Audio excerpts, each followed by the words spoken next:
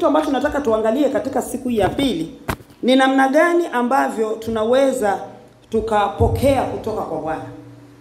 Tuna tunajifunza ama mara nyingi tumekuwa tukiona kwamba sawa, Bwana ni mpaji, Bwana anatupa, Bwana anatoa, lakini ni jinsi gani ambavyo inawezekana mimi nikapokea kutoka kwake.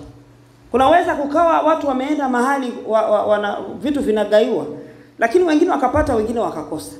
Lakini sasa hapa tunataka tuangalie kwa sehemu ndogo ama kwa uchache huu, kwa muda mfupi, maana naona nataka tukae kwenye maombi kwa muda mrefu.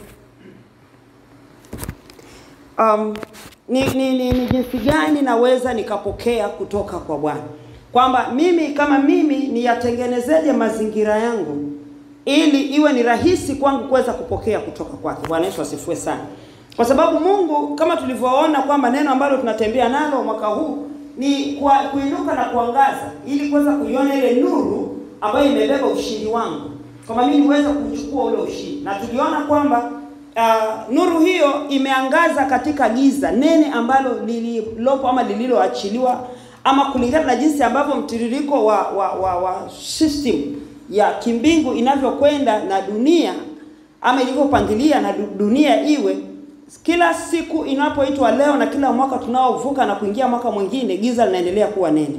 Lakini kila tukiangalia tunaona kwamba e, pamoja na kwamba giza linaendelea kuwa nene, lakini bado wema wa Mungu unaendelea kuonekana, na wema huo wa Mungu unaendelea kujifunua ukijiachia katika ukubwa. Jinsi giza zinavyozidi kuwa nene sana, na ndivyo ambavyo ule wema wa Mungu unaendelea pia kujifunua kwa ukuu sana. Lakini shida inakuja pale katikati ya kwamba ndio tuliona jana nafanyaje mimi sasa kuiona ile nuru? Kwa hiyo nahitaji kuiona ile nuru iliyobeba ushindi wangu, kwamba nisipotelee katika giza hili, kwamba hata kama giza liko ni nene namna gani, lakini kwanza tumetambua kwamba nuru ipo na imeshaachiliwa.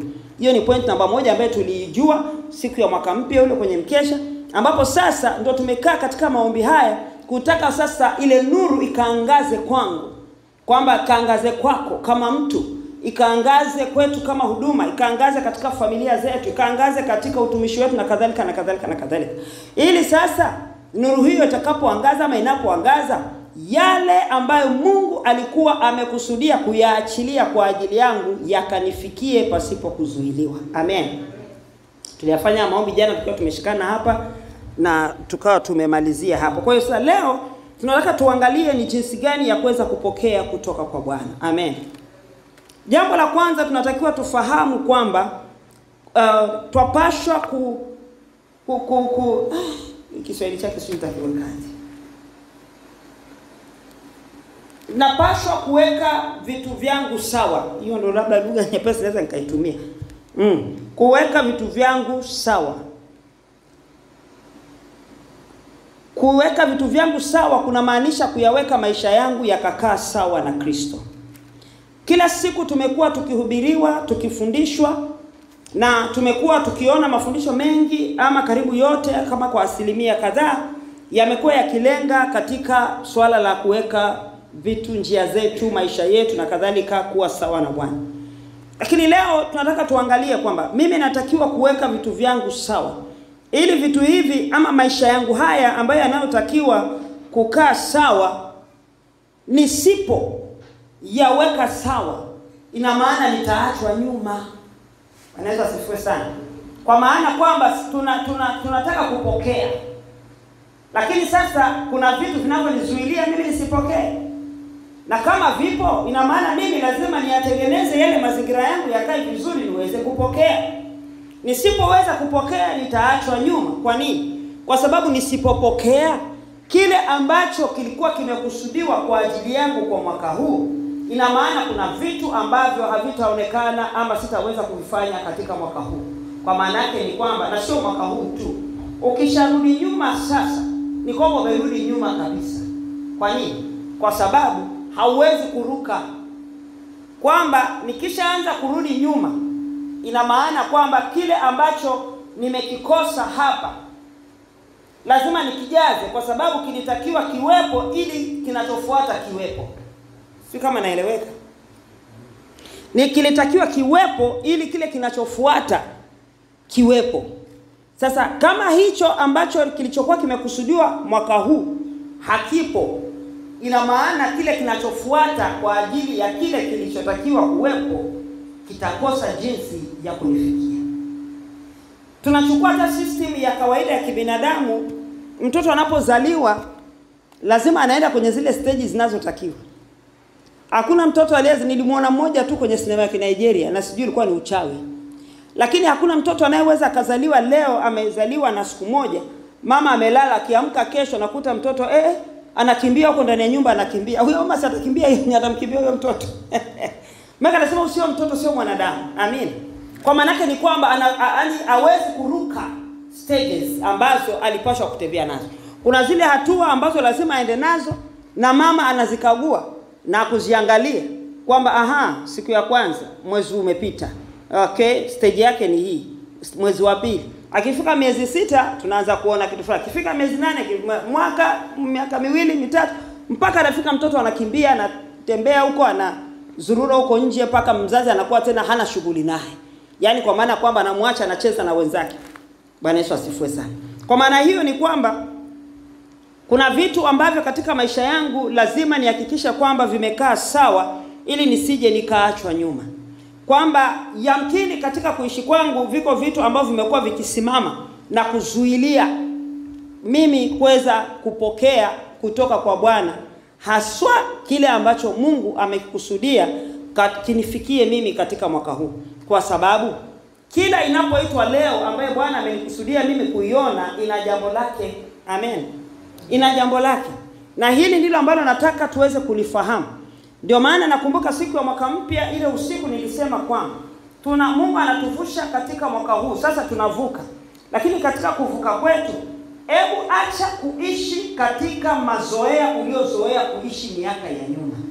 Kama uliishi katika mazoea katika miaka ya nyuma, basi mshukuru Mungu kwa sababu amekupa nafasi ya kuingia mwaka 2022 eh, 2022 kwa maana ya kwamba hesabu kwamba yale ya kule nyuma ambayo niliyaishi nikawa kama nilivyo basi yatakuwa ni katika upumbavu nilifanya wakati fulani, katika ujinga nilifanya katika wakati fulani, saingine katika kutokujua nilifanya katika wakati fulani, saa ingine ni katika uzembe nilifanya wakati fulani, saingine kwa sababu ya kupuuza nilifanya wakati fulani. Labda yamkini Mungu alikuwa amekusudia nifike mahali fulani, lakini mimi niko hapa. Kwa maana hiyo sasa sifanyi tena uzembe na, na, na naondoka katika ule uzembe ambaye niliokaa, naondoka katika ule ujinga, naondoka katika kule kupuuza kwa maana yake nini? Naanza kuchukulia vitu kwa umakini, yani seriousness yangu itaanza kuonekana katika kuishi kwangu. Sasa mimi huo ndi, hayo ndio maana nayo yatamani yaweze kuonekana kwetu. Kwa ninaposema kubadilisha ama kuweka vitu vyangu kuwa sawa,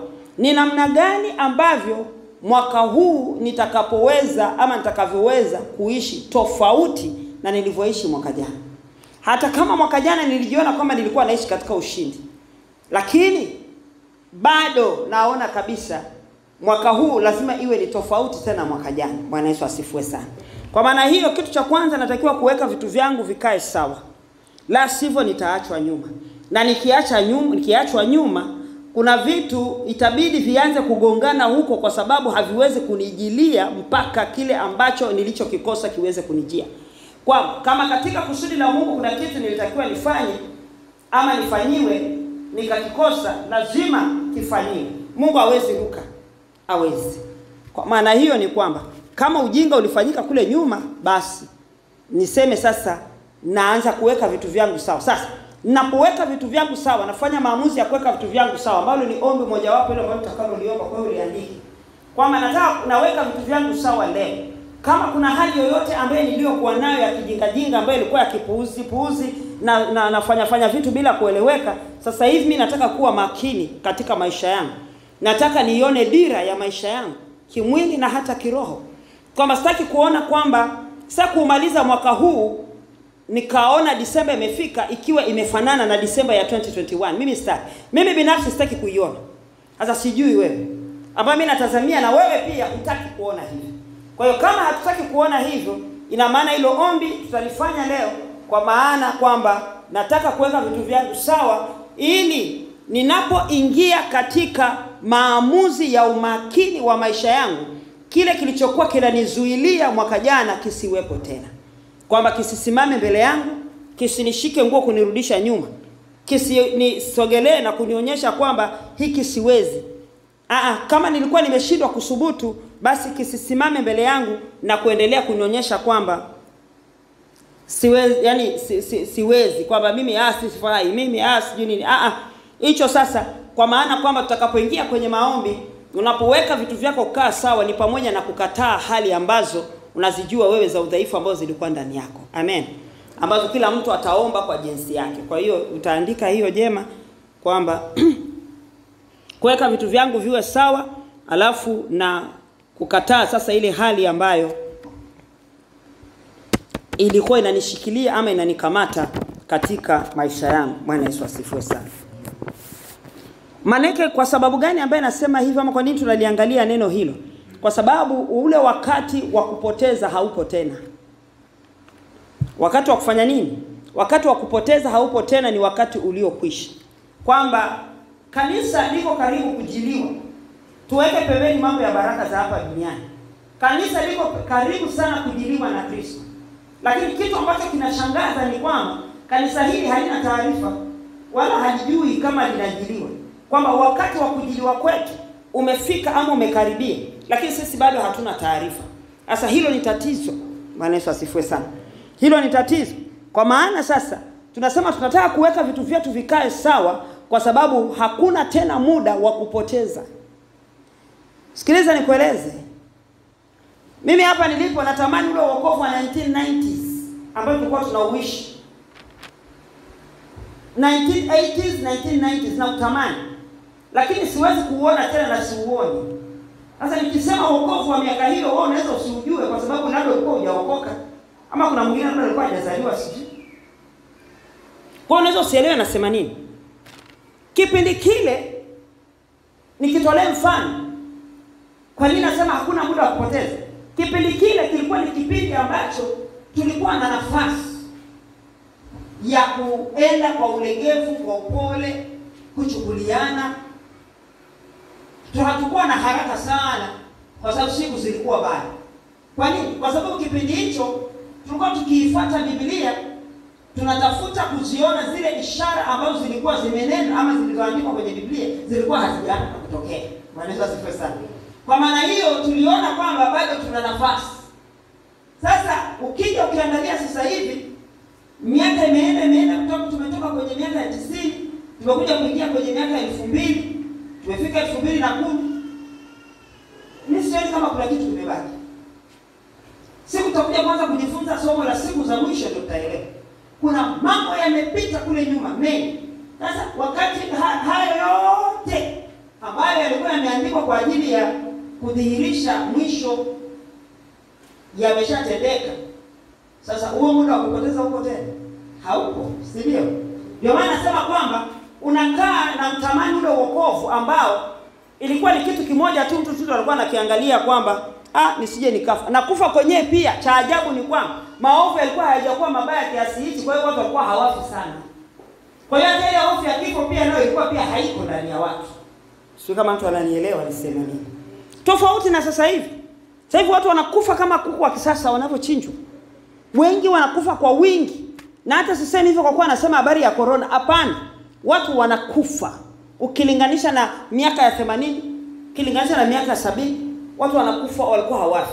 Sasa wakati wa kufanya mzaha ama wakati wa kupoteza haupo tena, haupo kwa sababu chochote kwamba chaweza kutokea wakati wote. Siwaambii kwamba Yesu anakuja leo, maana yeye ndio anajua anakuja lini, lakini nazungumzia habari za majira na nyakati, kwamba ule wakati wa kupoteza haupo, na kwa sababu haupo ni kwamba umeisha. Sisi sasa tunaelekea kule mwisho ambako watu wasikokutaka. Lakini sasa tunapozungumza habari ya kuweka vitu vyangu vikae vizuri, la kwanza ni kuutaka ule mwisho ambao nauendea, weza nataka masitaki, kwamba lazima kwangu kujengeke kutaka.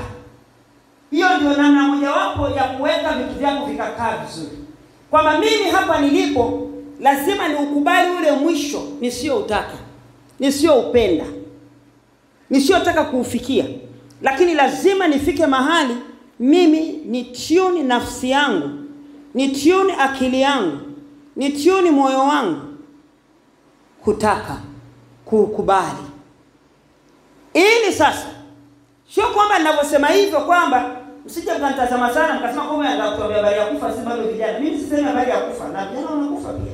Sana. Nataka kusema kitu gani? Nikijitiuni hapo ndipo pale sasa nitaweza kuyaishi maisha haya ya leo vizuri. Sio kama mtu ananielewa nasema nini? Watu wengi wanapoteza maisha kwa sababu ya kushindwa hapo. Pana siri iliyojificha hapo mahali, kwamba kwa sababu mimi nimeukataa ule mwisho, yaani e, ule mwisho ambao unaonijia, nataka sitaki utanijia tu, yaani hata mtu hata nikajibaraguza vipi haiwezi kunisaidia na haitaondoa ile kweli katika jambo hili Sasa la msingi ni nini? La msingi ni mimi ni ukubali ule mwisho unaonijia, ni acknowledge, ni, ni, ni, uku, ni uelewe, ni ukubali, nijue kwamba upo, nijue kwamba unanikabili na mimi pia, na kama unanikabili na mimi sasa, basi mazingira yangu ya sasa hivi yatakaa vizuri. Sitatumia nguvu na sitatumia gharama ya kuyafanya maisha yangu ya leo yakakaa vizuri, kwa maana sitatumia gharama kubwa kutengeneza vitu vyangu ama mambo yangu yakakaa vizuri. Bwana Yesu asifiwe sana, haleluya. Kwa hiyo ule muda ama wakati tena wa kufanya mzaha, wa kufanya michezo haupo, na ni kwamba muda umebakia ni mdogo. Sasa ninavyosema hivyo, na maana kwamba katika muda huo huo ulio mdogo nitaweza kuutilize kuutumia vizuri katika kuishi kwangu hapa duniani. Watu wanaishi wakiwa wanapoteza muda, kwa sababu utakuta mtu anaishi leo, ukimuuliza mtu mpaka jioni umefanya nini, hana jibu la kukwambia. Alijigeuza, akajigeuza hivi, akaenda kule, akaja kwa huyu, akafanya nini, akafanya nini, jioni kafika siku itaenda. Lakini ninapojua kabisa kwamba muda nilio nao ni mdogo kwa kiasi gani, sitakuwa na nafasi ya kupoteza ile dakika ambayo nimekuwa nikiipoteza. Kwa hiyo kwa mimi, kwa matumizi mazuri ya muda wangu ndiyo ambayo itakayoniwezesha mimi kuweza kuenda na ile ratiba ya Mungu kulingana na kile alichokusudia kwangu katika mwaka huu. Sio kama kuna mtu anaelewa. Eh.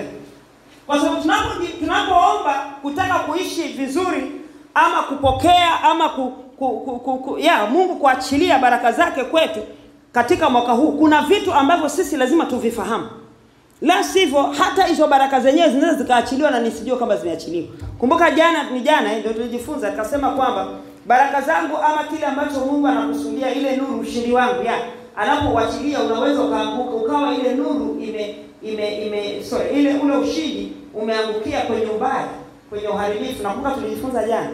Kwa hiyo sasa kama mimi uh, uh, bado naishi katika maisha ya kupoteza muda wa kupoteza, yani nina muda wa kuweza kupoteza ina maana kwamba itakapoanguka katika vitu vya namna hiyo nita miss opportunity yangu, itapoteza ile nafasi ambayo ilikuwa ipo kwa ajili yangu. Mpaka nikawapa na mfano wa Malawi. Bwana Yesu asifiwe sana. Kwa hiyo haya ni mambo ambayo ni ya msingi.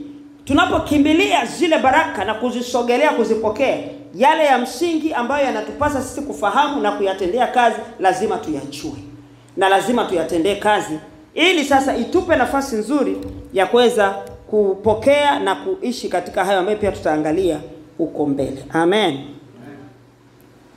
Kwa hiyo uh, watu wengi wamekuwa wakililia baraka ama wakikimbilia baraka kutoka kwa Yesu, lakini mara nyingi wamekuwa hawako tayari katika mabadiliko ya maisha yao, yaani kuweka vitu vyao kuwa sawa, wamekuwa hawako tayari, na kwa sababu wa, kwa sababu ya kukosa kuwa tayari ama kushindwa kuwa tayari katika hayo ina maana ndipo wanaposhindwa pia hata kuzipokea zile baraka ama kuzitunza na kadhalika na kadhalika na kadhalika. Bwana Yesu asifiwe sana, kwamba mtu anashindwa kuenjoy kile ambacho Bwana amekiachilia. Ndio unakuta kwamba mtu ataona kwamba baraka, mlango umefunguliwa mkubwa kwa ajili yake, lakini na matatizo yakaja ni makubwa ambayo yanahitaji kula kile ambacho ulichokipokea. Bwana Yesu asifiwe sana. Sasa kama haujakuwa na yale maandalizi yaliyo mema kwa ajili ya hayo ambayo uliyoyapokea, basi utajikuta wewe ni wakulia kila siku, hata wakati ushindi wako uko mezani kwako, tutakuwa ni wakulia tu. Lakini tunataka tuseme kwamba hatutaki kulia, tunataka tuishi uh, uh, uh, uh, katika ule wakati ambaye Mungu ameupanga ama ameukusudia kwetu kulingana na ile nuru aliyoiachilia na ushindi aliokuwa ametuwekea kwa ajili yetu katika mwaka huu na kuendelea. Amen. La pili, um, chukulia katika nafsi yako leo na katika ufahamu wako leo hii ya kwamba miaka ile ya nyuma ulioishi mpaka ilipofika Disemba mwaka 2021 ni kwamba ulikuwa unaishi katika kipindi cha neema. Ulikuwa unaishi katika kipindi cha neema ambapo kweli ulikuwa tunaishi katika kipindi cha neema. Kwa hiyo hisabu ya kwamba umekuwa na kipindi cha kutosha kuhusiana na neema ambayo Mungu alikuwa ameiachilia kwako kwa ajili ya kuchukuliana na wewe, kwamba kuna wakati Mungu hufika akachoka, na kwa sababu tumepata neema ya kuingia mwaka huu wa 2022 basi nichukue kwangu mimi ya kwamba kama kuna jinsi ambavyo niliharibu la kwanza nimesema kama kuna madhaifu, kuna vitu ambavyo vilinisababisha. La pili hili nasema kama kuna jinsi ambavyo mimi mwenyewe ndiyo niliyesababisha. Wacha ni hesabu ya kwamba sasa hivi nimeingia katika kile kipindi ambacho Yesu alisema kwamba ule mti ambao alipanda alafu kisha akawa anatarajia apate matunda na hakupata matunda mpaka ikafika wakati akauangalia akasema, ngoja nitaupalilia tena na mwaka huu nitaumwagilia maji mwaka huu ili basi nione kama utazaa matunda. Sasa ichukue hiyo katika maisha yako. Kwa nini nasema ichukue katika maisha yako? Ili mwaka huu utengeneze nidhamu ya kibinafsi ya kuishi mbele za Mungu. Naweza asifiwe sana utengeneze nidhamu ya kibinafsi ya kuishi mbele za Mungu, ili nidhamu hiyo ya kibinafsi iweze kuzaa matunda kwa ajili ya Bwana. Nidhamu ya kibinafsi ya mimi kuishi mbele zake Bwana, ili kwa nidhamu hiyo niweze kumzalia Bwana matunda. Yaani anaporudi Disemba 2022 kuja kutafuta matunda kwangu, akutane naye. Amen. Manake asirudi Disemba tena akanikuta mimi ni kimi yule yule. Asirudi Disemba akanikuta mimi ni pita yule yule kwa kusukumwa. Asirudi Disemba akakuta mimi ni jema yule yule. Hapana. Kwamba akirudi Disemba anakuja kuangalia mmea wake kwamba nimeumwagilia mwaka huu kwa sababu ninajua kwamba Mungu anakwenda kuachilia vitu ama anaenda kuachilia kitu kwa ajili yetu. Sasa kuachilia, anachokwenda kuachilia maanake ni kwamba anapalilia na kumwagilia kwamba anapomwagilia mti huu lazima mti huu uwe unajiandaa kwa ajili ya kuzaa matunda, kwamba ni mema gani ambayo Bwana atakuja Disemba akute kwamba yako anaweza akachuma matunda kwangu akala. Bwana Yesu asifiwe sana. Isifike Disemba akanikuta bado anakuja kutafuta matunda na mimi anakuta mti pale chini pamekuwa dry, majani yamenyauka yanatakiwa yanaanguka ovyo ovyo, kwamba nadai namwambia kwamba bado nahitaji maji, bado nahitaji kupaliliwa.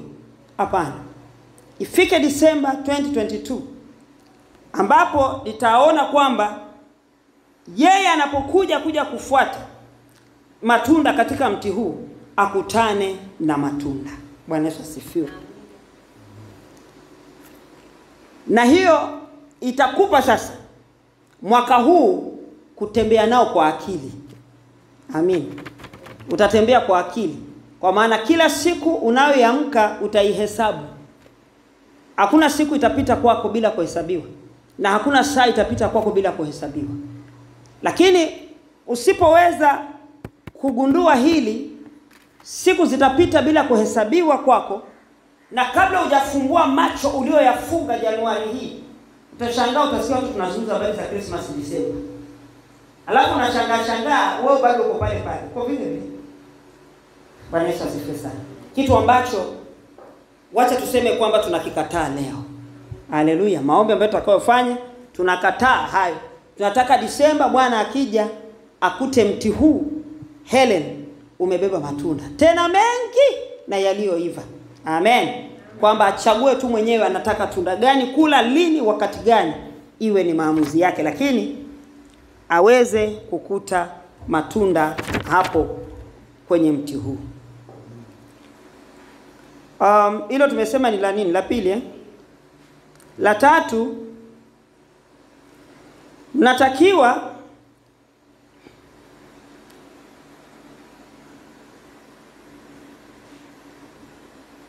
Mhm. Unatakiwa mwaka huu tuliouanza, tengeneza, wazungu wanasema kitu kinaitwa project proposal. Kwa Kiswahili mnasema kitu gani? Mtengeti sijui bwana. Nyinyi kinapita ambayo mmesoma. Wewe hasa wewe mwalimu Paulo, wewe ndio utusaidie, si unaenda kufundisha wanafunzi. Project pro proposal kwa Kiswahili nitasema nini? Nitaiweka katika sura gani? Sasa bwana mnaangaliana. Leo mimi ni mwanafunzi wa Paulo leo. Sijui ni wa darasa la ngapi? Mipango kazi eh? Eh, eh, asante. Si unaona mimi Kiswahili ni sasa kigumu, Kiswahili cha Tanzania ni kigumu. mipango ambayo nataka kuwe mipango kazi ambayo nataka ni nini nakwenda kufanyia kazi katika mwaka huu. Ni kitu gani nataka ku, mwaka huu nifanye? Nataka kuoa. Lazima uiweke kwenye mipango kazi yako. Sio kama unaelewa? Mhm. Nataka kazi. Weka kwenye mipango kazi yako.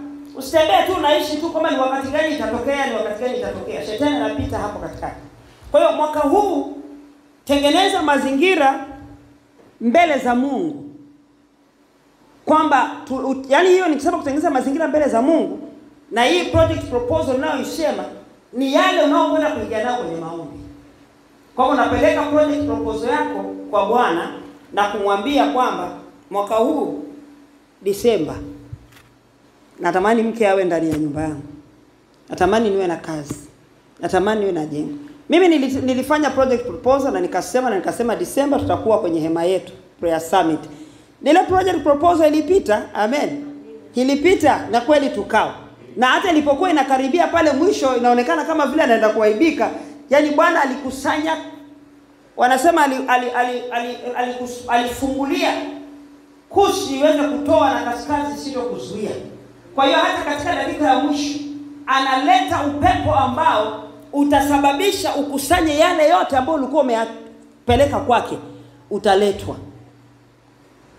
Unapotengeneza project proposal yako ukaipeleka kwa Yesu, ambayo unataka kuipeleka leo, unaitengeneza hiyo project proposal, usianze kuangalia kama sungura kwamba nimeomba leo Januari, Februari lazima atafanya. Hapana. Kumbuka hata hapa tulikaa mpaka inafika dakika fulani fulani vile kama vile hakuna kitu tunaeleweka kinachoendelea. Lakini kama nilivyosema kwamba kwa dakika ya mwisho hiyo saa kumi na mbili kasoro dakika moja inaweza ikafika kwamba ndio Disemba inaingia, ukashangaa mlango wako ndio unafunguka puf, wakati huu. Bwana Yesu asifiwe sana. Lakini mara nyingi katika hali yetu ya kibinadamu, ikifika mwezi wa sita, mtu unaanza kukata tamaa, unaanza kukata kona, unaanza kufikiria vitu vingine na kuanza kutafuta shortcut, lakini hapana kwamba dakika ya mwisho bado Bwana anaweza akafanya tena akafurika kwa namna ambayo ukashindwa kuelewa kwamba ni kwa namna gani. Kwa maana hiyo, leo hii ni Januari, leo ni tarehe nne, twapeleka proposal zetu kwake Bwana, kile ambacho mimi nataka mwaka huu iwe na hiyo project proposal. Naweza nikawa nataka mwaka huu kitu fulani kianze kufanyika, lakini ni kitu ambacho ni kikubwa, ambacho labda ni project ambayo itakuja kukamilika labda miaka kumi kuja na kiweka mbele zake. Yeye ndio anayejua. Anaweza kukamilisha kwa miaka miwili, anaweza kukamilisha kwa mwaka mmoja, anaweza kukamilisha kwa miaka mitatu.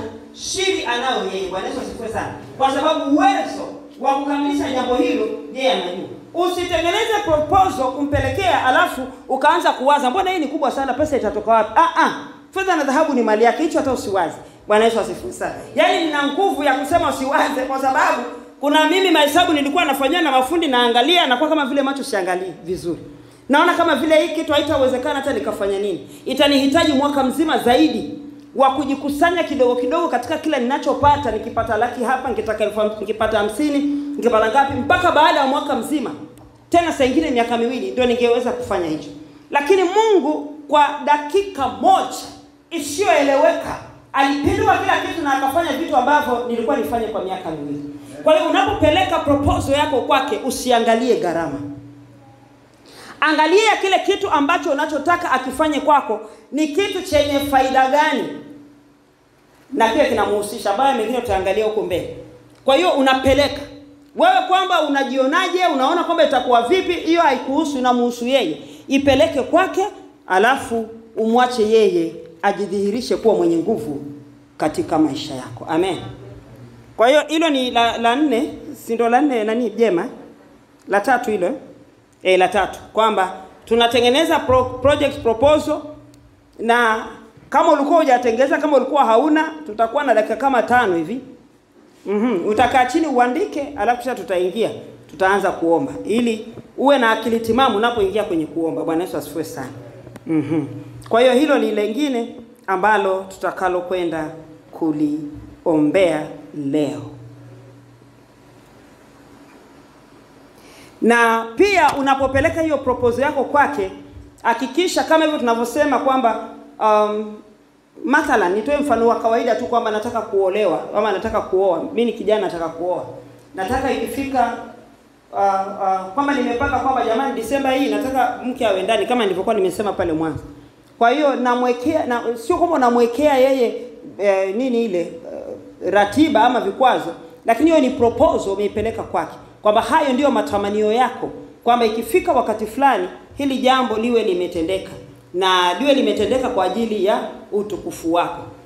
Pasipo kufanya hivyo, ndipo unaweza ukakuta kwamba kitu ambacho kilikuwa kifanyike kwako baada, yani kwa mwaka huu, kinaweza kikaja kafanyika miaka mitatu inayokuja.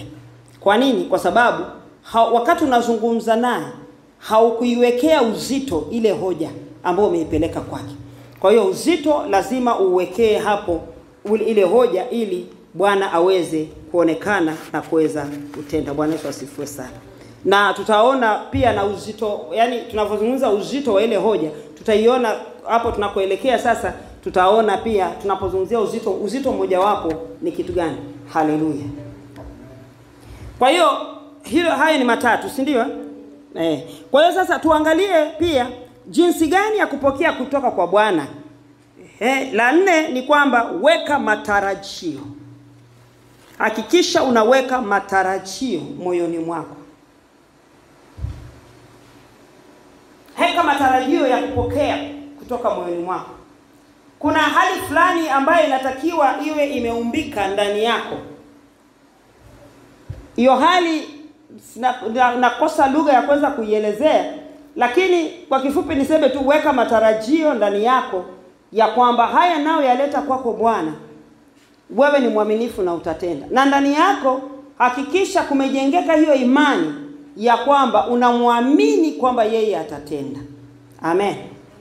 Kwa hiyo ukiweka hayo matarajio, haitajalisha ule umbali ambao wa jambo hilo unavyotakiwa kufanywa, haitajalisha wewe uliona umeomba maombi ya namna gani, lakini Bwana atajitokeza na kutenda. Twende tuangalie katika kitabu kile cha Marko sura ile ya kumi. Sasa zinaenda Mungu nisaidie. Marko sura ya kumi. Hapa nitasema haraka haraka hizi dakika kumi, e, dakika kumi tuweze kuomba. Marko sura ya kumi mstari wa arobaini na sita. Biblia inasema wakafika Yeriko, hata alipokuwa akiishika njia kutoka Yeriko pamoja na wanafunzi wake na mkutano mkubwa, mwana wa Timayo Batimayo yule mwombaji kipofu alikuwa ameketi kando ya njia. Naye aliposikia ya kwamba ni Yesu Mnazareti, alianza kupaza sauti yake na kusema, mwana wa Daudi, Yesu ni rehemu. Na wengi wakamkemea ili anyamaze, lakini alizidi kupaza sauti, mwana wa Daudi unirehemu. Yesu akasimama akasema, mwiteni. Wakamwita yule kipofu, wakamwambia, jipe moyo, inuka, anakuita. Sijui kama umejifunza kitu katika kusoma haya. Huyu Batimayo huyu alikuwa amekaa kwenye njia anasubiri muujiza wake, alikuwa hajui unatokea kona gani. Akasikia sikia kelele, watu wanapiga kelele, maana haoni. Sasa wala ah, Yesu akapiga kelele, Yesu mwana wa Daudi, naomba unirehemu. Watu waliokuwa wanafuatana na Yesu wakaanza kama vile kumwambia wewe, ni mimi waacha kupiga watu kelele, wakamini Yesu pamoja na kwamba kulikuwa na umati wa watu na kelele zao zilikuwa nyingi, lakini alisikia sauti ya Batimayo, alisikia kile kilio cha Batimayo na akasema mleteni hapa, mwiteni hapa. Wale wale walikuwa wanamnyamazisha ndio wanamwambia tujipe moyo. Sasa umejifunza nini hapa? Wale walikuwa wanamkatisha tamaa, kwanza asipige kelele, wanamnyamazisha. Sasa hivi wanaambia jipe moyo kwa sababu amekuita. Kwa nini? Kwa sababu amemwona Yesu amefanya nini? Amemsikia. Sasa katika kuweka tarajio, lazima ujue kwamba utakutana na hali, mazingira na watu watakaokukatisha tamaa. Kuna hali utakazokutana nazo zitakazokuonyesha ukame, tena ukame wa kikwelikweli, usiokuwa na tumaini, usioonyesha mlango, usioonyesha kwamba kuna kitu chaweza kikatokea hapa na katika kutarajia kwako kunaweza ukakutana na mazingira ambayo yatakukatisha tamaa. Kanisa sifiwe sana. Pia unaweza ukakutana na watu wakakukatisha tamaa, wakakwambia kwamba ndio nini hii unafanya eh? Wewe unafikiri utaweza? Wewe utaweza nini? Sio nini? Wapo wamejaa tena, na hasa wanapokukatisha tamaa vile, pia na yale mazingira yanakwambia kwamba hamna kitu. Kwanza wewe huoni, watu ni wengi, ndio hao wanaosema hauwezi kumwona Yesu, hauwezi kumfikia Yesu Yesu mwenyewe hujui yuko kwa gani, kwa sababu wewe huoni. Lakini cha msingi hapa ni kwamba sisi tunaingia kwenye maombi tukiwa tunatarajia kupokea kutoka kwa Yesu. Kwa hiyo taraja langu linapokuwa kwake Yesu, ina maana lazima nichuchumilie kwamba Bartimayo alibaki amekaa, wale wanapiga kelele, wanasema Yesu mwana wa Daudi ni rehemu, wanapiga kelele Yesu mwana wa Daudi ni rehemu. Kwa hiyo haijalishi ni kelele gani tutakutana nazo lakini mimi neno moja najua tu kwamba Yesu mwana wa Daudi unirehemu. Bwana Yesu asifiwe sana. Kile ambacho ninachokihitaji mimi ndicho hicho nitakachoweka taraja langu pale, kwamba hapa ndipo ambapo penye msimamo wangu, hata kama inaonekana kwamba haiwezekani kwa watu wanaona kwamba haiwezekani, ni sawa, haiwezekani kwao kwa sababu macho yanasema hivyo, lakini kwa sababu ili mradi Yesu yupo na nimesikia kwamba Yesu anapita hapa. Mimi nimesikia Yesu anafanya, nimeona Yesu akifanya, maana nimeshuhudia akinitendea. Basi na kwa sababu hiyo taraja langu liko kwamba atafanya na hiki pia. Haidalishi kwamba hichi ninachotaka afanye mwaka huu ama yale ambayo ninayotaka kuyapeleka mbele zake ni kwamba ni makubwa ama ni magumu kwa kiasi gani, na kuangalia mazingira yako ulionayo. Kwa, kwa hiyo tunaona kwamba dhamirio linaweza likafanya Yesu akafanya pasipo kujua kwamba ameachilia, kwamba yule mwanamke aliweza kuweka dhamirio katika lile alilokuwa amelihitaji la uponyaji, na Yesu akaachilia uponyaji bila kujua kwamba anaachilia. Alikuja kushangaa tu nguvu zimemtoka. Kwa hiyo unachukua sasa nafasi ya kuya, yale mazingira unayakamata wewe, unayazingira wewe unapoyazingira sasa, maanake yule mwanamke alizingira yale mazingira bila watu kujua kwamba kuna kitu gani mwanamke anafanya. Kwa hiyo alitake over, aka override yule watu wamejaa huku huku na huku, na yeye akasema sawa, lakini mimi nitatafuta njia zangu, nitapenya nitapenya, nita... kiwa kiko sawa. Bwana Yesu asifiwe sana. Dhamirio hilo ni la msingi, kwamba lazima uende extra mile. Maanake ni nini? Ondoka kwenye uvivu, kwamba ufalme wa Mungu unatoka na wenye nguvu kwamba hata kile unachokitaka uweze kukipata, lazima wewe uweke ile dhamirio na uhakikisha kwamba wewe ndio namba moja katika kuhusika pale. Usije ukafikiri kwamba kuna mtu mwingine atakayesimama ili hayo yaweze kutendeka. Ni wewe, yale ya kwangu ni mimi ndio nitasimama. Bwana Yesu asifiwe sana. Kwa hiyo weka hilo dhamirio, alafu uende extra mile uweze kufika hapo. Bwana Yesu asifiwe. Ili la mwisho, ili tuweze kuingia kwenye maombi. Aha. Ili la mwisho katika jinsi ya kupokea kutoka kwa Bwana ni hakikisha unavuka ng'ambo ya pili. Hakikisha unavuka ng'ambo ya pili. Hakikisha unavuka ng'ambo ya pili. Vuka ng'ambo ya pili. Vuka ng'ambo ya pili ni kwamba unaondoka kwenye ordinary situation, kwenye kwenye kwenye hali ya kawaida unaingia kwenye extraordinary, unaingia kwenye hali isiyo ya kawaida. Mtazamo wako, fikra zako lazima zitoke katika ukawaida. Sio, kuna mtu mnanisikia, mnanielewa? Hawa njaa zimeuma sana lazima uondoke katika ukawaida. Hilo ni la msingi sana utoke kwenye ordinary ways uingie kwenye extraordinary ways, kwamba hakuna mtu, hakuna kitu kinaweza kikafanyika kama kisicho cha kawaida hakikufanyika, kwamba kuna riski. Hata usione watu wanafanya biashara wanafika juu, wana mahali waliriski. Kuna mahali waliriski. Unakuta mtu anakuambia nilianguka, lakini nikasimama tena, nikaanguka, nikakopa, nikafanya, nikaanguka, nika... hakukata tamaa leo wewe utaanza kuuza vitumbua leo, ukiona vimelala ukila na kutoka unasema wai, vitumbua vyenyewe hata kuna mtu anayenunua, unaacha. Lakini kuna watu mpaka wanafika mahali wana ushuhuda, wana malori, wana makampuni, wana viwanda na kila kitu, lakini kuna wakati walianguka mara karibu ishirini mpaka wakafika mahali wakawa kawa kitupo, lakini waliondoka katika ile hali ya kawaida wakaingia katika ile hali isiyo ya kawaida, hali ambayo inamfanya kila mtu kumwona huyu, mbona kama vile akili zake sio nzuri, mbona anang'ang'ania kufanya kitu ambacho hata faida ikionekana. Si uache, si uache, si uache. Watu wanamwambia si uache, si uache, lakini yeye anang'ang'ana pale pale. Huyo mtu alishavuka ng'ambo, amevuka ng'ambo, akaenda wapi? Ameshavuka ng'ambo, akaingia mahali anapojiona yeye ni nani, wakati huu ambao hajaufikia. Kwa hiyo ile picha iko kwake. Kwa hiyo yeye katika kuanguka kwake huku anaanguka anainuka, anaanguka anainuka, anaanguka anainuka, lakini kinachomuinua ni ile picha alionayo ya mwisho wake. Anaweza sana. Sasa ukija ukiangalia hicho kwa kanisa kimepotea.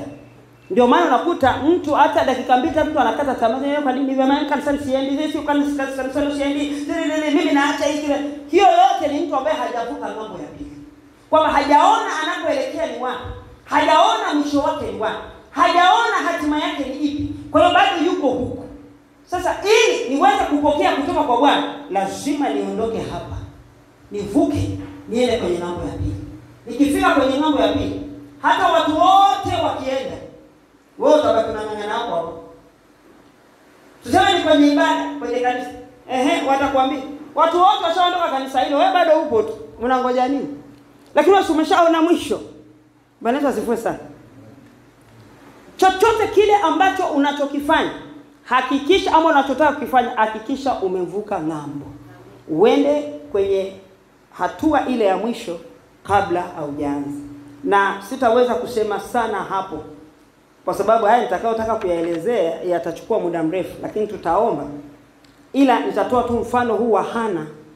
Hana mke wake Elikana katika Samueli wa kwanza sura ya kwanza utaisoma hiyo hadithi vizuri ukiwa nyumbani, ili isichukue muda. Nieleze tu ninachotaka kueleza. Hana mke wa Elikana alikosa mtoto, tumbo lake lilifungwa. Alikuwa ni mmoja kati aliyekuwa amebeba wanadhiri wa Mungu katika tumbo lake, na katika ku, kufahamu hilo, mume wake alimbembeleza sana na kumwonyesha mapenzi yote aliyoweza kumwonyesha, kumwonyesha kwamba uko na mimi, una wasiwasi gani? Lakini akasema hapana, lazima nifikie pale mahali ambapo natakiwa kufika. Na aliendelea kuomba, aliendelea kuomba, aliendelea kuomba. Mume wake alijitahidi kumpa zile portions alizokuwa anagawa kwa mke mdogo Penina, na yeye anampa yeye nyingi, ili angalau afurahishe moyo wake, lakini moyo wake unakuwa hautulii mpaka aweze kuona amefika pale mahali.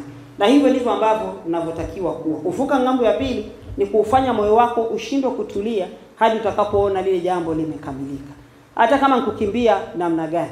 Mimi niliendesha watu hapa mpaka kuna watu mimi walinichukia, hata mafundo alinichukia, nikasema hata mkinichukia, lakini hapa kuna kitu ambacho lazima kifanyike, kimalizike hapa. Sikifika siku fulani sitaki kuona, sitaki kuona fundi hapa, kwa sababu nilikuwa mimi najua ni ajenda gani na ratiba gani ninayotembea nayo. Amin. Kwa hiyo sasa unapokuta kwamba wewe ushavuka huko ng'ambo ya huku, alafu unadili na watu wako ng'ambo ya huku lazima kutatokea friction, lazima kutatokea msuguano, kwa sababu wata, kwa namna nyingine watakurudisha nyuma, watajaribu kukutengenezea mazingira ya kukuonyesha kwamba mbona hapa hivi ikiwa hivi iko salama, kwa sababu aliko yeye anaona kuko salama, lakini wewe ushaondoka huko, kwa sababu kule uliko ndiko kwenye usalama wako. Kwa hiyo Ana yeye alitengenezewa mazingira hayo, ndio akamwambia mume wake, sawa, wewe ni mume wangu, lakini hapana, lazima mtoto apatikane. Lakini kitu ambacho kilichomfanya ama tujiulize ama swali kwamba hiyo ng'ambo ya pili ni ipi aliyovuka, maana hilo ndio linaweza likawa swali la kumaliza nayo. Hana aliweza kuvuka ng'ambo ya pili kwa sababu hii, kwa sababu alijua kile kilicho cha thamani ambacho kilikuwa ndani yake kama mwanamke, na alijua thamani ya mwanamke kwa mwanamume ama kwenye ndoa ni mtoto, na yeye akaenda extra mile, kwa maana alivuka ng'ambo akafika akaenda kwa Eli kwenda kuomba. Alienda kwenda kuomba kama kawaida mtu mwingine anavyoweza kuomba, na maombi aliomba alikuwa ni ya kawaida, Hatuna maombi ambayo ni ya, ya aina fulani sijui nini, hamna. Maombi ni hayo ya kawaida, lakini kuna vitu ambavyo huwa vinasindikiza yale maombi, ndio yale maombi yanakuwa sio ya kawaida. Kwa hiyo huyu aliomba maombi yale akiwa amevuka ng'ambo ya pili. Kwa hiyo maombi ya kuombea ng'ambo hii ni tofauti na maombi ya kuombea ng'ambo ya pili. Kwa hiyo unapokuwa umeshavuka ng'ambo ya pili, unaomba na ile seriousness ambayo unaokuwa nayo pale katika maombi yale yanafanya mbingu iachilia. Hana alivuka ng'ambo ya pili kwa sababu alitamka haya kwa Mungu. Nitasoma hiyo yenyewe. Alitamka kwa Mungu akamwambia, ukinipa mtoto huyo mtoto nitamtoa kwa ajili yako. Wewe uliona nadhiri ya namna hiyo? Tunajua kabisa alitoa nadhiri na tunajifunza, tunajifunza tunaweza tukajifunza na kufundisha kwamba Ana aliweka nadhiri. Sawa, aliweka nadhiri, lakini mimi namwambia Mungu, nataka mwaka huu ikifika mwisho wa mwaka unipe milioni mia moja unipe milioni moja unipe milioni kumi kwa sababu nataka kufanya biashara hii, ama unipe biashara hii, ama unipe nyumba, ama unipe gari. Lakini utakaponipa gari hilo, gari hilo hilo nitalitoa nikupe wewe. Does it make sense? Inaleta maana hiyo? Kanisa inaleta maana? Wewe inaleta maana? Wewe unaweza fanya hivi? Mchungaji anaweza fanya hivi? Wewe unaweza? Wewe usijibu tu kwa sababu ulisikia. Wewe unaweza? Zungumza uhalisia wa binadamu. Kibinadamu hatuwezi. Huo ni ukweli.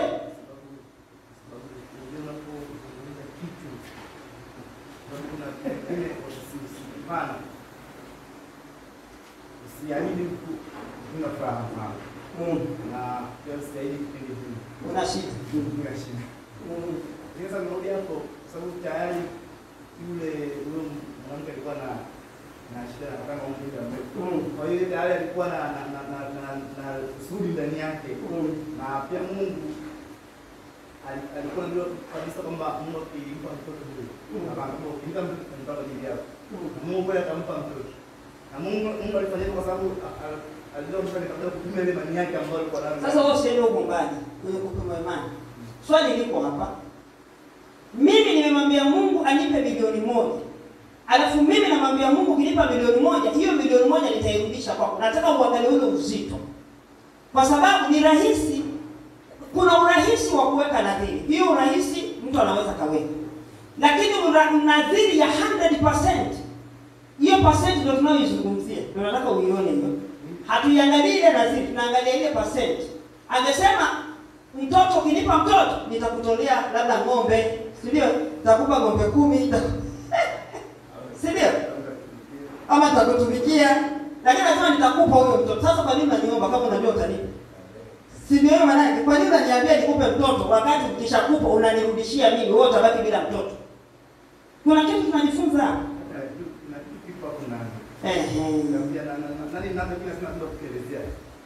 Wewe tunaenda tutakusaidia, utishinda. Yaani ndio kama alivyosema wewe kwamba mwisho wa mwaka ama kupiga gari ndio Mm. kuishia. Eh. Unaweza kuendesha gari kwa kwa kufanya kuishi yani pia bani ile gari kwa kumtisha Mungu kwa kwa- kwa ku- kazi yake. kufanya huduma yake. Lakini gari bado unalo. Si unaona, si unaona kitu? Naweza nikasema mimi Mungu nitakupa nakutolea hii nitakupa. Lakini ile gari bado nayo. Lakini huyu alisema anampa Samueli. Na kweli ilipofika wakati na maana nikasema siwezi kusoma kwa sababu itakuwa ni ndefu na tunataka tuingie kwenye maombi. Lakini kuna kitu tunataka tukiangalie hapa. Kwamba alisema anampa huyo mtoto atampa. Na kweli ilipofika siku hiyo hakumpeleka hekaluni kwenda kumweka wakfu, alafu amwambia Mungu, nilikwambia nakupa, kwa hiyo narudi naye nikamlee, akishakuwa nitakupa. Ah ah, yeye ilipofika siku ile na alivyokuja alimkabidhi, akamkabidhi madhabahu, akaondoka zake. Umeona kwamba alirudi kuwa kama alivyokuwa mwanzo, na alipomtoa huyo mtoto, alimtoa huyo mtoto, akamwacha mtoto akakaa hekaluni kwa Eli hakukaa naye nyumbani kwake. Sio wewe uniambie kwamba ati kwamba natoa gari na dili alafu gari na lalala nyumbani kwangu alafu kisha naenda kutumikia nalo. Ah ah, ni ile kwamba nalitoa ninaenda kabisa na nisilione tena. Hapa ni sana labda Eh? Bwana Yesu asifiwe sana. Kwa hiyo tumeona kuhusu kuvuka ng'ambo ya pili. Kuvuka ng'ambo ya pili ni kwamba hata kile ambacho ninachokiomba sasa hivi, tunakaa katika hizi siku tano, tunataka kuomba tu, hata kile ambacho ninachokiomba kwa Mungu aweze kunitendea, bado kinatakiwa kisibebe thamani kwa mimi zaidi ya Mungu anayekwenda kunipa. Hiyo ndio maana kuvuka ng'ambo ya pili, katika kumalizia hili ambalo ni la jinsi gani ya kuweza kupokea, kwamba kile ambacho ninachokiomba, kwamba naomba kitu gani, naomba nini, kisije kikavuka kwenye kiwango cha kuchukua thamani ya Mungu. Kwa hiyo mwanamke huyu aliomba kupewa samweli akaweka kupewa mtoto na akaweka naziri na nadhiri aliweka juu ya mtoto huyo huyo mwenyewe, na kweli akaitimiza mbele za Mungu na Samueli yule akaenda zake na kweli akawa mtumishi wa Mungu, kuhani, ndiye kuhani wa kwanza. Amen, akawa ndiye kuhani sasa. Kwa hiyo Bwana akaanza, maanake sasa Israeli ndio walitoka katika ule utawala ambao waliokuwa nao, ambao walikuwa wanaamuliwa na waamuzi waamuzi waamuzi wakikosea. Kwa hiyo ndio kuhani akasimamishwa. Maanake ni kwamba Mungu alikuwa anatafuta nani atakayeweza kusimama katika nafasi fulani. Kumbuka Israeli katika miaka kadhaa mingi wameishi katika shida, kwa sababu hakukuwepo na kuhani. Kwa hiyo inawezekana unaomba fedha, Mungu akupe milioni kumi, milioni moja, na yamkini katika muda fulani wa nyuma kulikuwa na shida hiyo kwenye nyumba yake, kwenye kazi yake. She, atakapokupa hiyo milioni kumi, utasimamaje nayo kwa ajili yake? Tusimame au bado unatafakari? Utasimamaje nayo kwa ajili yake? Ama tushakupa hiyo milioni kumi, utaenda kukaa chini na list. Nilishafanyaga haya, nikakaa na list, nikaanza kuandika yale yote nayo yahitaji, nikakuta yamepita na ile milioni kumi niliyoomba. Kwa hiyo niliona wakati naomba akilipa milioni kumi tutosha, lakini sasa nimekuja kukaa kwenye list, nakuta list yangu inazidi milioni kumi. Sasa je, inapokuwa kuna uhitaji kwa ajili ya Bwana utaweza kumpa? Jibu si hapana, kwa sababu kwanza za kwangu zenyewe hazitoshi shida zangu zimekuwa nyingi kuliko hela niliyopokea. Maanake ni nini? Maanake ni kwamba sitaweza kumpa. Kwa maanake ni kwamba hayo mambo yanafanyika namna hiyo ni yanafanyika na watu ambao bado wako ng'ambo ya upande. Kwa hiyo tumejifunza kuhusu kuvuka ng'ambo ya pili. Ng'ambo ya pili unakaa kimya kama ambaye hata kama shida zote zipo, wewe unakaa kimya kama ambaye hazipo. Kwa hiyo unaangalia nini kipo kwa ajili ya Bwana. Napompa yeye priority ndio nafungua milango endelevu. Maana asifiwe sana. Kwamba akitakauka tena. Tunao ule mfano wa yule mjani wa Sarepta haitakauka tena kwa sababu ndivyo ilivyokuwa hata na kwake. Kwamba aliona kabisa kwamba siwezi mimi kupikia hata kama unataka kwa sababu ndicho nilichobaki nacho. Lakini alipokubali ina maana kukubali kwa yule mjani alivuka ng'ambo ya pili. Kwa sababu alitoa kile ambacho asingeweza kutoa kwa mtu awaye yoyote. Sababu alikuwa na mtoto na njaa zinawauma na waki, wakishindwa kula wanakufa na hata wakila wakimaliza watakufa kwa sababu hawakuwa na chakula chingine, lakini akatoa kwa ajili ya mtumishi wa Mungu. Lakini kitendo cha yeye kutoa tu, kapu lake halikuisha unga, chupa yake haikukauka mafuta. Kwa hiyo hawakuweza kuacha kukosa chakula. Unajifunza nini katika hili? Tunajifunza ya kwamba tuvuke ng'ambo ya pili tuweze kupokea kutoka kwa Bwana, kwamba mitazamo yetu, yaani kufikiri kwangu kuwe kwa tofauti na jinsi ninavyofikiri siku zote. Hata ninapoenda mbele za Mungu leo hii, ninapokwenda kumwomba Mungu jinsi ya kuweza kupokea kutoka kwake, hebu ya yakae pembeni, niangalie yale yaliyo ya Mungu, kwamba nitazame na kuona kwamba mimi naweza kufanya